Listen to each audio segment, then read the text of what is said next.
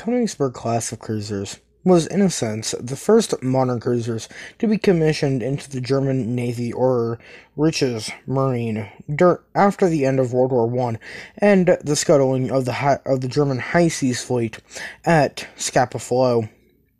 The Königsberg class uh, light cruisers were built under the limitations of the Washington Naval Treaty. For a slightly better understanding of what the limitations entailed, I'm going to pass it over to a clip from an Important Histories video on the KMS Königsberg. April 16, 1919, the German Admiralty was instructed to create the Provisional Reichsmarine, and only several months later, the scuttling of the High Seas Fleet took place.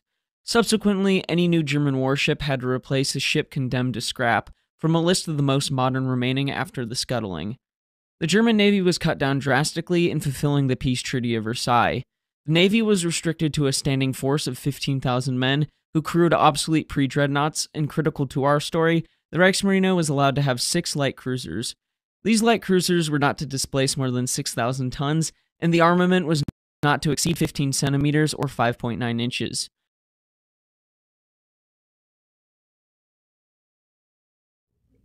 Commonly known as the K class, the Königsberg, alongside her two sisters, the Karlsruhe and the Köln, were built during the late 1920s and the early 1930s. Having to follow the Washington Naval Treaty, the ships of the Königsberg class were 554 feet long at the waterline and 571 feet long overall. They had a beam of 50 feet and a maximum draft of 20.6 feet with a designed displacement of 6,640 long tons and a standard displacement as defined by the Washington Naval Treaty of 6,000 tons or 6,000 long tons. They display um, 700 or 7,700 long tons at full load. The ship's and hulls were constructed from longitudinal steel frames and incorporated extensive welding to save weight. Up to 85% of the hulls were welded rather than riveted. The hull was divided into 19 watertight compartments and had a double bottom that extended for 72% of the length of the hull but this hull design would prove to be complicated and extremely unreliable, with cracks and warps in the compartments appearing very often throughout the cruiser's short careers. The Königsberg class cruisers had a standard crew of 21 officers and 493 less than men. This later increased to 23 officers and 558 to 591 enlisted men. And during World War II, the crew the crew size rose to between 820 to 850 officers and men. The ships carried a number of smaller vessels, including two picket boats, two barges, two launches, one cutter, and one dinghy. The ships were uh, moderately good sea boats, but they had the the potential to capsize if internal stores were improperly loaded, and suffered from a slight lee helm. They heeled up to 20 degrees with the rudder hard over. They were nevertheless very maneuverable and lost a little speed in a in a head sea in a hard turn. They lost up to 20% speed. In the 1930s, all three members of the class were modified to carry a pair of float planes for reconnaissance. They were equipped with an aircraft catapult to launch the planes and cranes to recover them after they landed in the water. The ships initially carried two Heinkel um, HE-60 biplane float planes, replaced later in the decade with two um, Arado AR-196s uh, mono float planes. Only one aircraft could be stored on the catapult at a time. The second air, the second plane had to be dismantled and replaced and placed in storage, and the ships did not have a hangar to store it in.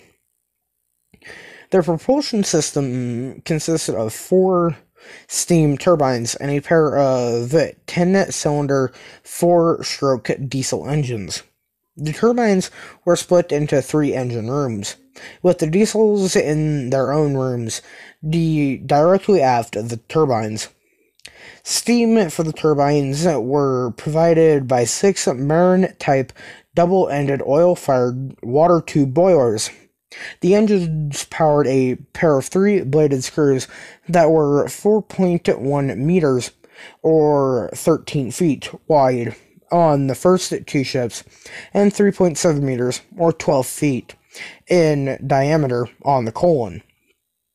The ship's propulsion system provided a top speed of 32 knots and were rated at 65,000 shaft horsepower. Though all three ships exceeded 68,000 ship horsepower on speed trials, the ships carried 600 tons of fuel oil as designed, but could store up to 1,350 tons. This gave them a range of approximately 5,700 nautical miles at 19 knots and 7,300 nautical miles at 17 knots. Steering was controlled by a single rudder. The ships had three turbo generators and two diesel generators for electricity. The generators had a combined output of 540 kilowatts at 220 volts.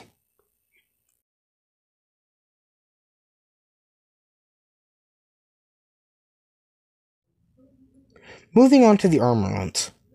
The ships were armed with nine 15 centimeter SK C 25 guns mounted in three triple gun turrets. One turret was located forward, and two were placed in the super firing pair aft. The rear gun turrets were offset to increase their arc of fire. They were supplied with 1,080 rounds of ammunition and 120 shells per gun. As built, the ships were also equipped with two 8.8 centimeter SK L 45 anti aircraft guns in single mounts. They had 400 rounds of ammunition each. The Königsberg class also carried four triple torpedo tube mounts located amidships. They were supplied with 24 50 centimeter 20 inch or 20 inch torpedoes, though they were replaced with 53.3 centimeter or 21 inch models by 1940. The ships were also capable of carrying 120 naval mines. Midship frame with, with um, position of armor, the ship's anti-aircraft batteries were revised and improved throughout the course of their careers. The original single mounted 8.8 centimeter guns were replaced with twin mounts for the new 8.8 centimeter SKC 32 guns, and a third twin mount was also installed, bringing the number of guns to six. Eight um, 3.7 centimeter or SKC 30 guns were installed in the mid 1930s, and up to eight 2 centimeter flak 30 guns were also added. Köln, the only ship to survive the end of the war, was ultimately armed with eight 3.7 centimeter and 18 2 centimeter guns, though provisions had been made to mount up to 10 and 24 guns of the two calibers, respectively.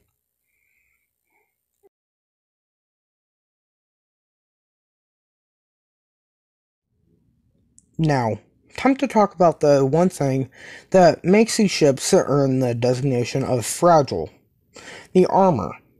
The ships were protected by an armored deck that was 40 millimeters or 1.6 inches thick amidships and tapered down to 20 millimeters or 0.79 inches on either end. They had an armored belt that was 50 centimeter or 50 millimeters or 2 inches thick and capped it with 70 millimeters or 2.8 inch thick bulkheads on either end of the belt. Underwater protection consisted of, of a 15 millimeter or 0.59 inch torpedo bulkhead and a 20 millimeter collision bulkhead. The conning tower had 100 millimeters or 3.9 inch 9 inch sides and a 30 millimeter or 1.2 inch roof. The ship's gun turrets had 30 millimeter faces and 20 millimeter roofs, sides and rears. The barbettes for the turrets were also 30 millimeters thick. Karlsruhe was later fitted with increased armor protection, consisting of 10 to 14 millimeters or 0.39 to um, 0.55 um, inch outer plating that consisted of the of the new Wotan Weich steel and an upper deck that was 16 millimeters or 0.63 inches.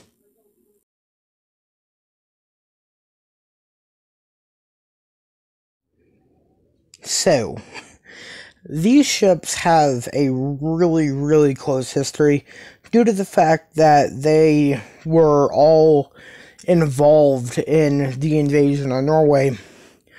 But where we differ is that two of these ships would not make it out of Norway or the invasion of Norway.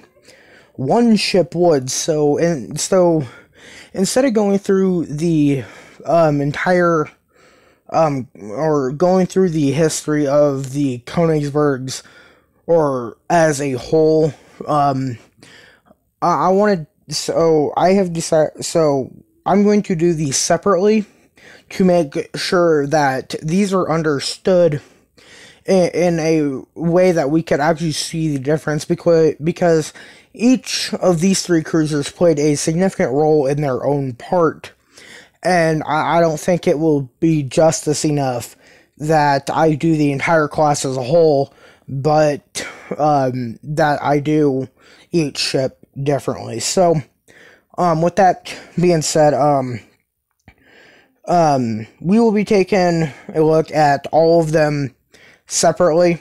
Uh, so we will be starting with the leader of the class, the KMS Königsberg, and then going down line, and then going um, through the other two ships at, um, um, based on time of commissioning. So, um, with that being said, um, I truly do hope that you guys will enjoy this section, um, and that you guys will be able to learn in depth about each and every one of these um, cruisers.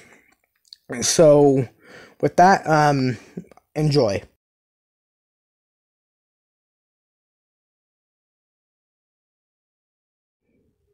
Königsberg was ordered as Cruiser B and given the temporary name um, Ersatz Thetis since she was intended to replace the old cruiser um. She was laid down at the Regis Marnwharf in Wilhelmshaven on the 12th of April 1926 and launched on the 26th of March 1927. She was commissioned into the Reichsmarine on the 17th of April 1929. After her commissioning, the ship was assigned to the as the flagship of the reconnaissance force for the German fleet.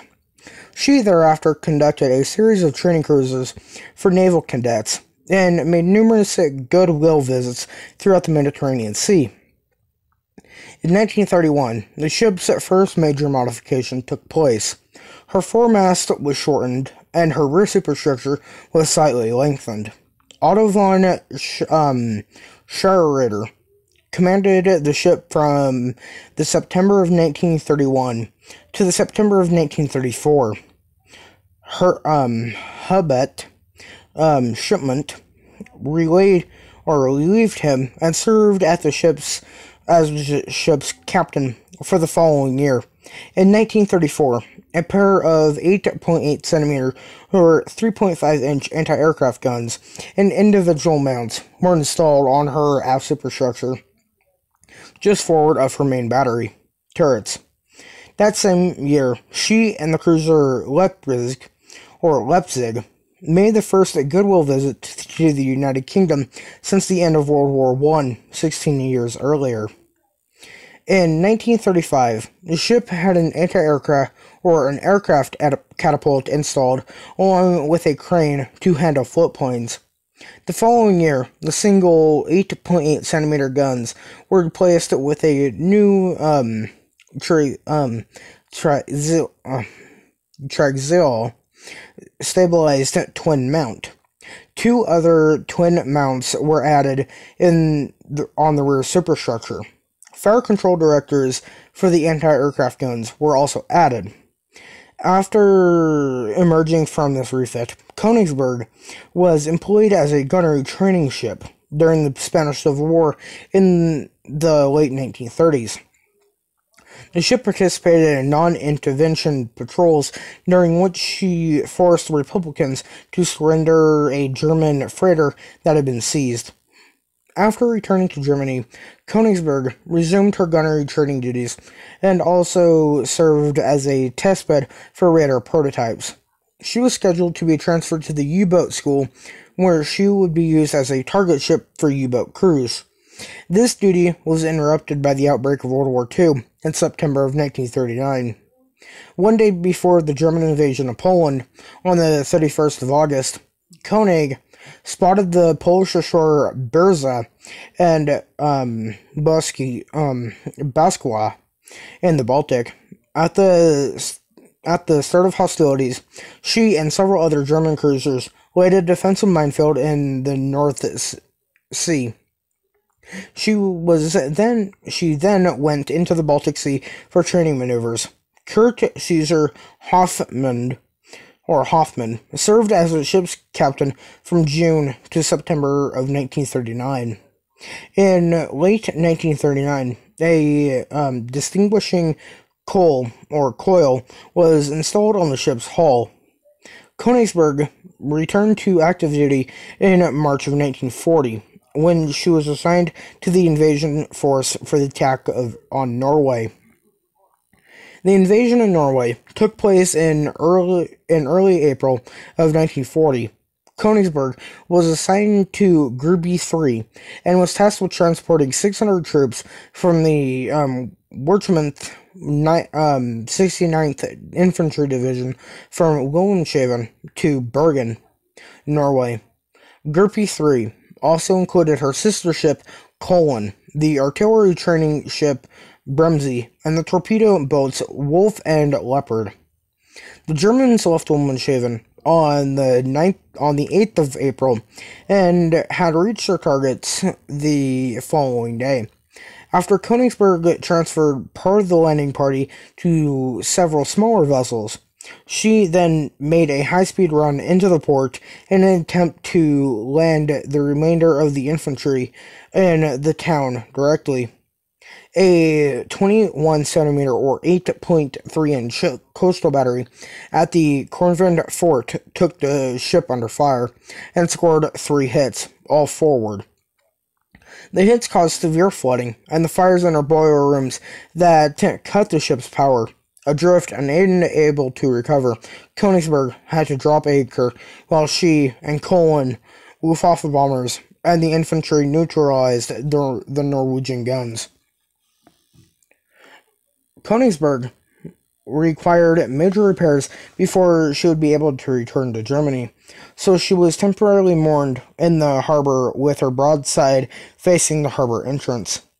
This would alone uh, or allow her to bring all her main battery guns to bear against any British naval attack.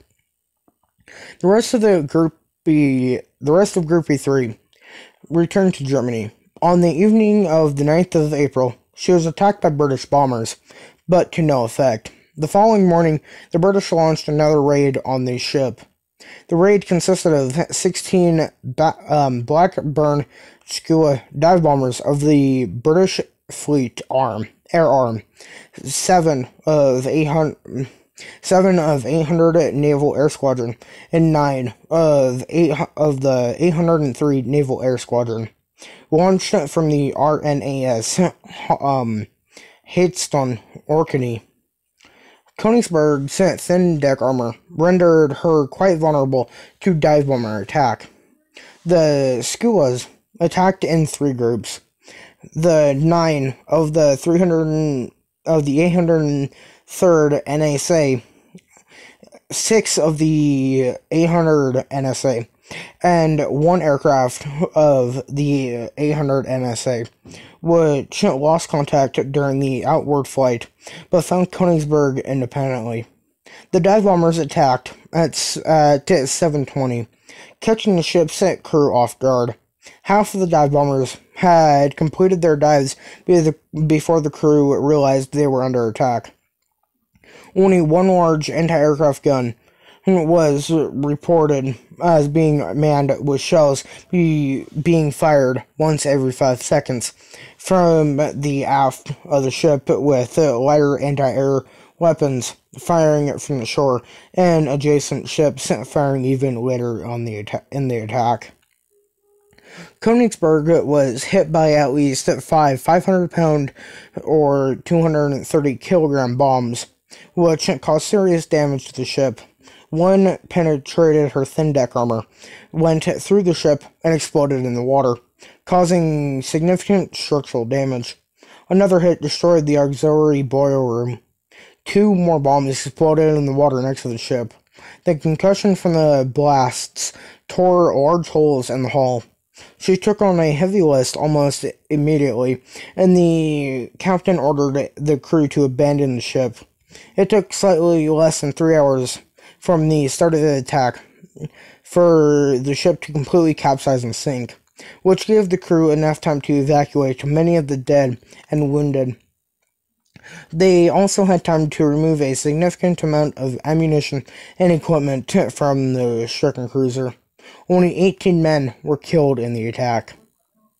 The wreck was raised on the 17th of July, 1943, and towed to Hergenst it was later towed to um, Leskvik on the south side of Bergen Harbor and rightened. However, the hull could, could only be kept afloat by consistent pumping and was therefore put into the floating dock at Leskvik. Unfortunately, the wreck fell over when the dock was raised, causing considerable damage to the dock and leaving it uh, with a 11 to 13 degree list. The hull, however, sealed. Uh, the hull was, however, sealed and refloated and remained at um, Luskvig until February of 1945, when it was towed to um, Hardont Forgend and allowed to settle with a heavy list. At um, Bergen at Berland Student to the east of Askøy. The ship would, um, the ship would be salvaged once again on the 14th and 15th of September of 1945 and to Stavanger, linking throughout.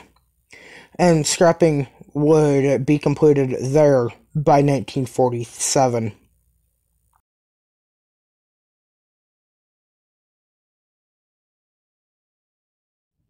Ordered as Saint Cruiser C and given temporary name of Ersatz Medusa as a replacement for the old cruiser Medusa. Construction of the Karlsruhe began on the 27th of July, 1926, with her keel laying, uh, with her at the Deutsche Werke shipyard in Kiel. She was launched on the 20th of August, 1926, 1927 and was commissioned into the Richa Marina, or the Reichsmarine, on the 6th of November 1929. Karlsruhe completed a completed sea trials in the Baltic Sea after entering service. After which, after which she was assigned to training ship duty. In May of 1930, she departed on her first overseas training cruise to Africa and South America. After returning to Germany, she was modernized late in the year. Her foremast was shortened, and her rear superstructure was slightly enlarged. After the next five years, she embarked on four more world cruises for naval cadets, traveling as far as Japan. Between each cruise, she conducted exercises with the rest of the fleet in German waters. Gunther Lütjens served as the ship's commanding officer from September of 1934 to September to the September of 1935. In 1935, she had more modifications made, including the installation of a pole mast aft of the funnels, along with an aircraft catapult amidships with a crane to handle the floatplanes. On her last training cruise in 1936, Karlsruhe was badly damaged by a tropical storm in the Pacific Ocean. Structural weaknesses in her mostly welded hull play, plating caused significant damage, and the cruiser was forced to put into San Diego in April for repairs. There, her hull was repaired and strengthened, which increased her displacement and beam slightly. She returned to Germany in June of 1936 and immediately went to dry dock for more permanent repairs and a major overhaul. During this period in dry dock uh, hands, she had her two single uh, mount 8.8 centimeter anti aircraft guns replaced with three twin mounts. Fire control directors uh, were also installed for these guns, after emerging, after emerging from this refit, she conducted sea trials and then joined the non-intervention patrols during the Spanish Civil War, though she only remained off Spain for a few months. After returning to Germany, she resumed training duties in the Baltic. She was withdrawn from service in May of 1938 for a major modernization. The funnels were modernized with raked caps and searchlight platforms on their sides. The ship's 8.8 centimeter anti-aircraft guns were replaced with more powerful 10.5 centimeter guns. Work lasted until the November 1939, shortly after the outbreak of World War II.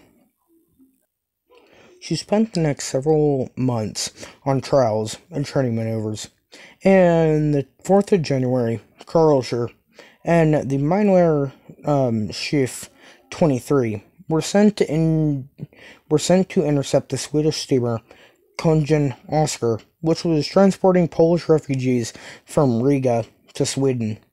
Karlsruhe caught the Swedish vessel and declared it a prize and sent it and the 41 Poles aboard to Memel. She was not ready for combat operations by the start of Operation Weserübung, so she was used as a troop transport for the attack on um. The attack force also included an, an E-boat tender, four large torpedo boats, and several E-boats. The invasion force departed Bremerhaven early on the 8th of April 1940 with Captain or um, Captain Zer um, C. Frederick Rieve aboard Karlsruhe commanding. When it arrived at um, Kristiansand, heavy fog covered the area, making the passage of the forge outside of the harbor very hazardous. As a result, the German ships had to wait until morning of the 9th of April to attack to begin the attack. As Karlsruhe entered the forger, she came under heavy fire from the Norwegian coastal guns at um, Orbert Fortress. The cruiser turned in the forward to bring her full broadside into action. The artillery duel lasted for about two hours before heavy fog again covered the port, face, forcing both sides to cease fire. The Norwegians sur- sur- surrendered an hour later, and the German ships landed their embarked troops. Karlsruhe then left Kristiansand on the evening of the 9th of April with three of the torpedo boats as escorts. The British submarine, HMS Truant, was positioned outside the fore and when her crew spotted the German ships, she fired a spread of torpedoes. Karlsruhe took evasive action, but one torpedo struck her on the starboard side, amidships, blasting a large hole in the hull and allowing thousands of tons of water to flood in. The flooding disabled her engines and electronic generators, which cut off power to the pumps that were trying to keep pace with the incoming water. With those pumps um, inoperable, Rieve decided that there was no hope of saving Karlsruhe and issued the order to abandon ship two hours after the attack. The torpedo boat Greif took off her crew and fired two more torpedoes into Karlsruhe to scuttle her. Rieve and his executive officer were severely criticized in an investigation into the sinking for failing to take all possible steps to save Karlsruhe. The report concluded that since the ship was still afloat after two hours and two additional torpedoes were required to sink her, it might have been possible to take her under tow back to um, Kristiansand or another port. In addition, the forward pumps still had power, and so the flooding could have been slowed enough to permit a return to a safe harbor. Karlsruhe would sink um, would have um, would sink in deep water, and the exact position of the wreck remained unknown for more than 80 years. The Norwegian power grind operator um, conducted a sonar survey in April of 19, in April of 2017 that located the wreck but did not identify it at the time. The vessel lies upright on the seafloor, 15 meters or 94, 90 or 49 feet from the submerged power line between Denmark and Norway. Harper rated by um, Statnett. Carl Ussher's bow is no longer attached to the vessel. The wreck is some 13 nautical miles off the Norwegian coast at a depth of about 490 meters or 1,610 feet. Statnett sent another expedition on the 30th of June 2020 with the survey vessel Olympic Taurus to conduct an investigation of the wreck using remotely operated underwater vehicles after a severe storm to confirm that the cable had not been damaged. The company confirmed in September that it was indeed the Carl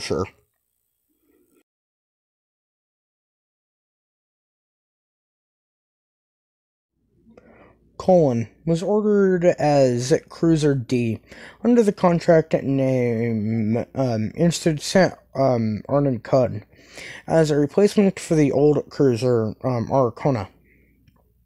The keel for Köln was laid on the 7th of August 1926 at the um, Reach Marine Wharf shipyard in Wilhelmshaven.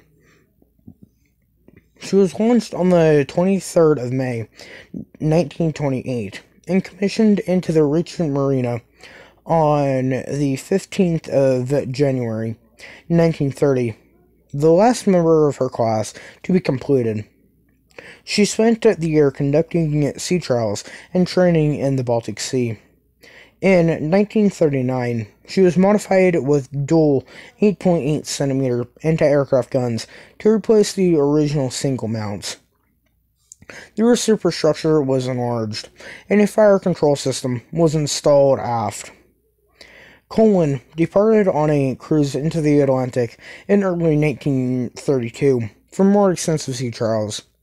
After returning to Germany, she took on her first crew of naval cadets for a world cruise, departing Germany in late 1932. The tour lasted a full year. She stopped in ports across the globe, including in the Atlantic, Pacific, and Indian Oceans, and the Mediterranean Seas, or Mediterranean Sea. In Australia, The tour stops included Alton, Mer- uh, Melbourne, Sydney, and um, Hobart, with the crew taking place in several publication, um, public, public um, sized football games against local teams that included a Royal Australian Navy team in Sydney. In 1935, the ship had an anti-aircraft or an aircraft catapult installed, along with cranes to handle the floatplanes. A pole mast was also um, installed on the rear side of the aft funnel. Köln continued to serve as a training ship until early 1936, when she was transferred to the um, fishery production duty. Later that year, she joined the non intervention patrols off Spain during the Spanish Civil War. After the German heavy cruiser Deutschland, also known as the Lützow, was attacked by Republican bombers in the so called Deutschland incident. Köln transported wounded crew members from the Deutschland back to Germany. Köln conducted a further uh, four patrols off Spain before returning to the fishery production in the North Sea in 1938. Late in the year, she went to dry dock for a refit in Kiel. In March of 1939, Köln sailed to Memel, now um, in connection with the um, examination of the Me- Mem- Memelland district, which Germany had demonstrated or demanded be returned by um, Lithuania.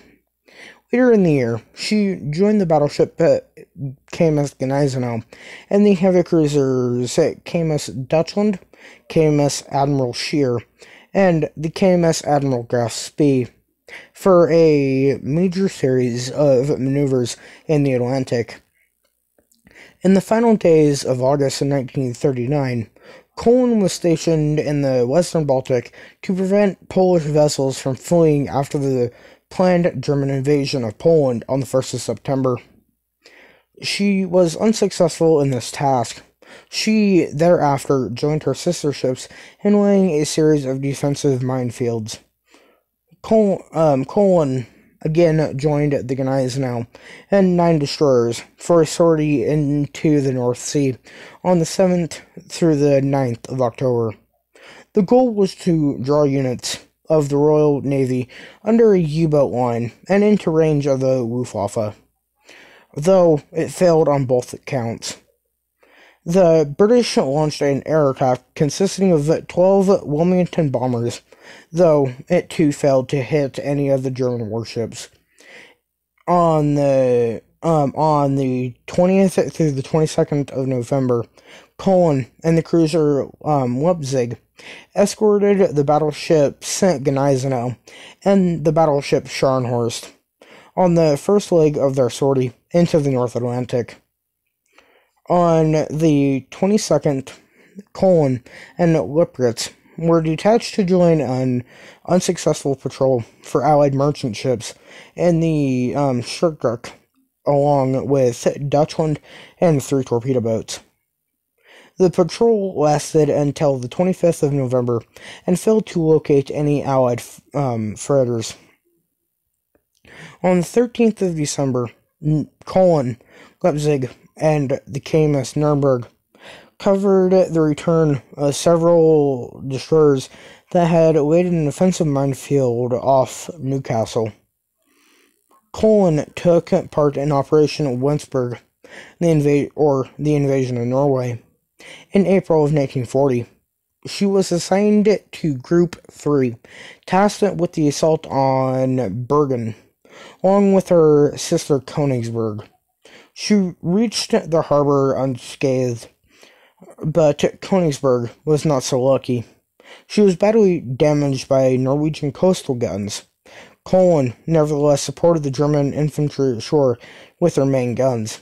After the port was secured, she returned to Germany, along with a pair of destroyers, in late 1940. She went into dry dock for further modifications. A distinguish a distinguishing coil was installed along with a helicopter landing platform on top of turret um, Bruno.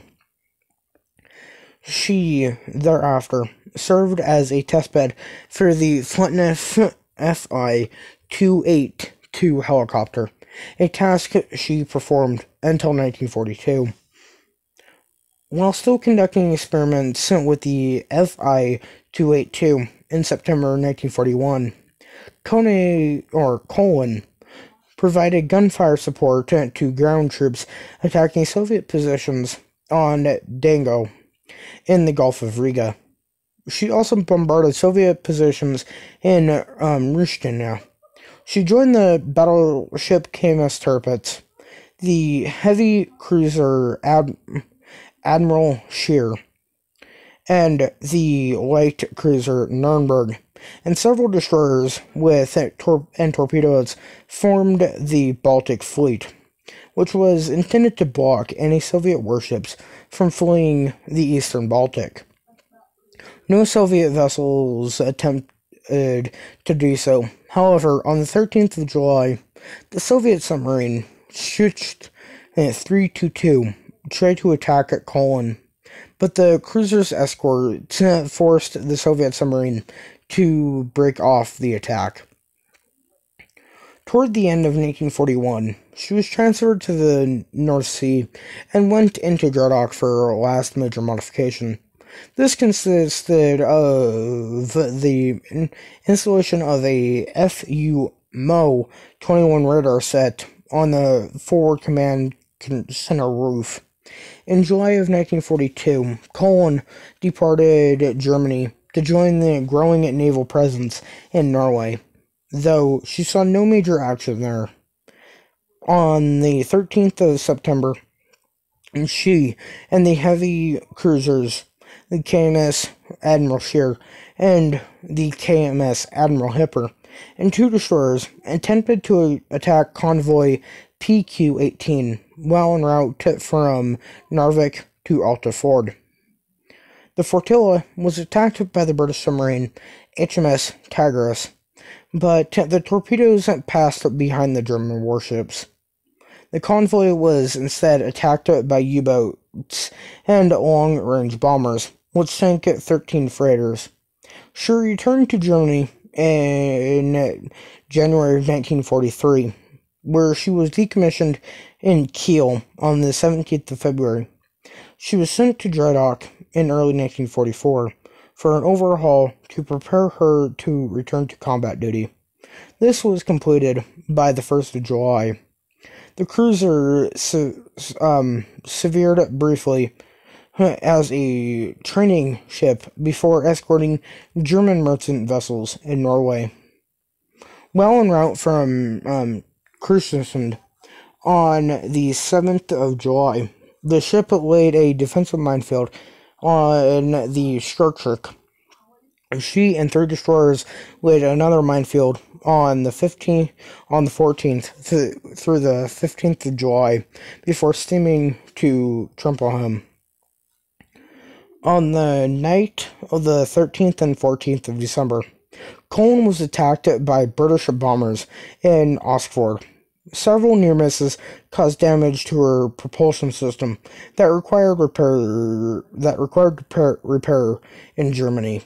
She was de- she departed Norway on the 23rd of January 1945 in company with the Admiral Hipper and a destroyer and arrived in Kiel on the 8th of February.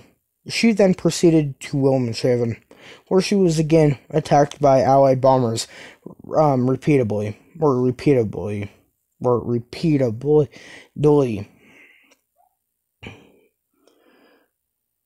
On the 30th of March, B 24 Liberators from the 8th Air Force attacked the harbor. Köln was hit and sank on an, on an even keel. Since her guns remained above water. The ship was used as an artillery battery to defend the city from advancing Allied forces. She served in this capacity until the end of the war in May. She was um, personally uh, dismantled in situ after the end of the war and finally raised in 1956 for scrapping.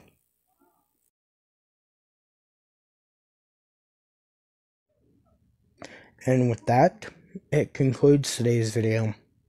If you guys did enjoy, please do go hit that like button and subscribe to the channel and make sure you guys ring that notification bell so that you guys do not miss out on any future content. Um, if you guys did enjoy what you guys saw today, please go watch some more content of mine. And with that being said, I thank everybody for tuning in, and I shall see you guys all on the high seas.